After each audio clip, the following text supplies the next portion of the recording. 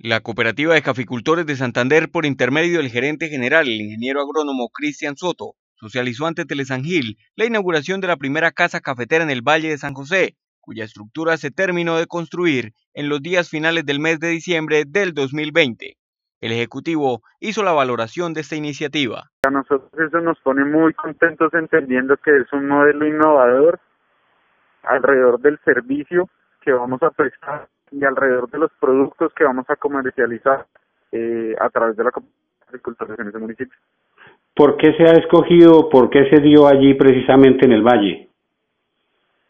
Bueno, eh, es de reconocer que desde administraciones pasadas se venía analizando el proyecto de construcción de bodega para comprar café en el Valle de San José.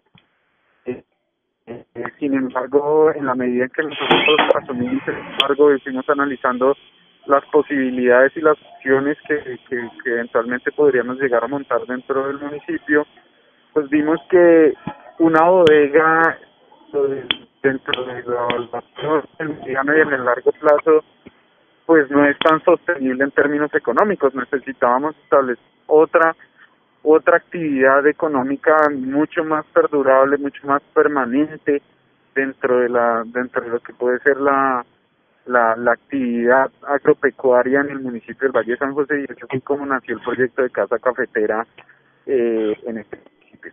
A la vez el gerente manifiesta que la productividad del cultivo del café en esta jurisdicción es de gran significado, incluso para el departamento de Santander, lo que lo reubica aún más entre los primeros en el departamento. El Valle de San José es uno de los municipios más importantes en producción de café eh, para el departamento.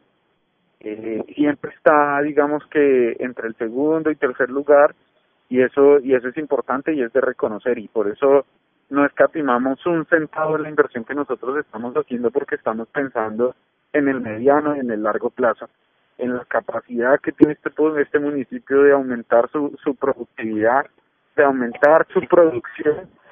Eh, ambos aspectos son muy importantes. Y, allí le estamos apuntando a que ese municipio del Valle de San José no solamente eh, eh, va a crecer, sino que se nos va a convertir probablemente en nuestro en nuestro tercer punto eh, de, de compra más importante eh, para todo el departamento entre las 17 agencias de compra que nosotros tenemos. El gerente Soto Zapata, a la vez que resalta la alta productividad cafetera, anuncia que la cosecha que empezó el año pasado va a prolongarse unos meses más. Nosotros hasta el momento eh, hemos calculado que estamos alrededor de un 60-70% de la cosecha.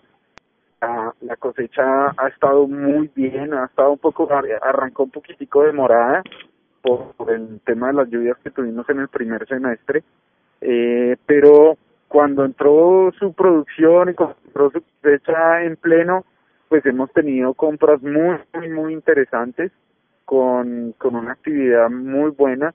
Lo que nosotros estimamos es que el Valle San José hasta el momento ya ha entregado alrededor de unos 2 millones de kilos, de los cuales nosotros hemos comprado alrededor de unos 600, 700 mil kilos. El resto, pues obviamente están nuestros compañeros y amigos de, de otras eh, compras que, eh, pues obviamente también tienen una actividad comercial importante. Pero, pero eso en términos generales es lo que nosotros podríamos estimar a este momento.